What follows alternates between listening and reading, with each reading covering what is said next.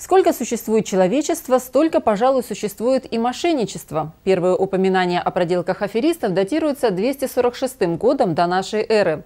Уже тогда для того, чтобы нажиться на доверчивых гражданах, мошенники состаривали рукописи и продавали их как подлинные древние пергаменты.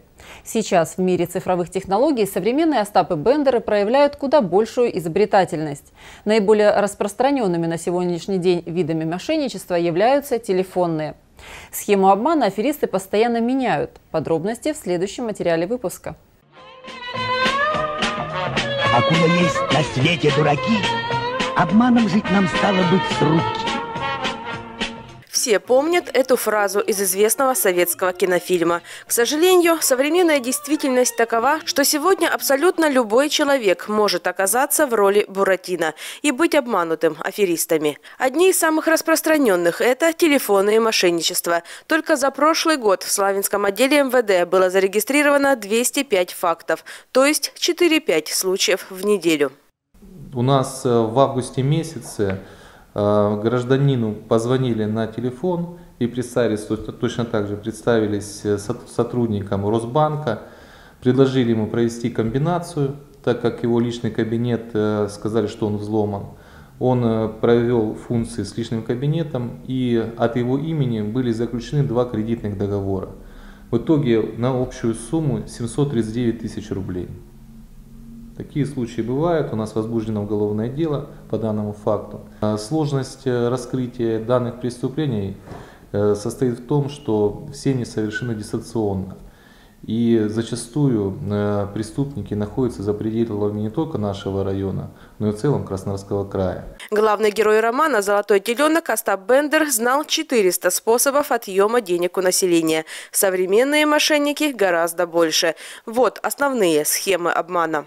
СМС-просьба о помощи. «Мама, не могу говорить, брось 500 рублей на этот номер». Текст и адресаты могут варьироваться. Требование выкупа или взятки за освобождение родственника, попавшего в ДТП или задержанного полицией. Чтобы не попасться, просто позвоните тому, кто просит помощи. Телефонный номер «Грабитель». Как только вы на него позвоните, с вашего телефона автоматически спишутся деньги за звонок. Не перезванивайте на незнакомые пропущенные номера. Выигрыш в лотерее от радиостанции, магазина или оператора связи. Вас просят приобрести карты экспресс-оплаты для перевода выигрыша и сообщить их данные или перевести на них деньги для активации карты, а потом ввести специальный код. Помните, бесплатный сыр только в мышеловке. Ошибочный перевод средств на телефон или карту с просьбой вернуть. Как только вы их вернете, мошенники по чеку, обратившись в банк или к сотовому оператору, вернут их еще раз. Заявку на возврат денег должен писать только их отправитель. Ваша банковская карта заблокирована или был вход в личный кабинет и перевод денег. С такими словами звонят лже-сотрудники банка, представившись службой безопасности, с целью обезопасить ваши деньги. А на самом деле их задача узнать данные карты или цифры, которые они отправят вам по СМС. Все это позволит им пользоваться вашими банковскими счетами как собственными. Вот пример такого разговора с мошенниками. Дело в том, что система нашего банка зафиксировала несанкционированный вход в ваш личный кабинет с города Владивосток. Но, насколько нам известно, вы проживаете в городе Москва. А также была попытка списания денежных средств на сумму 3000 рублей на карту Альфа-банка. Скажите, данную операцию вы проводили? Не, я ничего такого не проводил. Смотрите, Павел Николаевич, денежные средства до, получателя не дошли, они были переведены на временную ячейку хранения нашего банка на 15 минут для того, чтобы вас обезопасить. Сейчас нам необходимо произвести возврат денежных средств обратно на карту, а также установить вам двухфакторную защиту для вашей безопасности и безопасности ваших средств. Скажите, пожалуйста, как вам будет удобно идентифицировать вашу личность, по номеру договора или же по номеру вашей карты? Если хотите, так же самое могу сказать серию вашего паспорта, но не целиком, я не, я не назову только одну цифру. Теперь у вас есть сомнение, то, что я действительно не являюсь клиентом банка? Простите, сотрудником банка. Понимаете, я уже знаю, что вы мошенник. Хорошо. И? Ну, хорошо. Что значит и? И наш разговор записывается, будет передан в полицию. Запомните, сотрудники банка по телефону проблемы не решают и переводами денег не занимаются. Есть сомнения, идите в офис банка. Это только типовые схемы телефонного мошенничества. На самом деле их гораздо больше.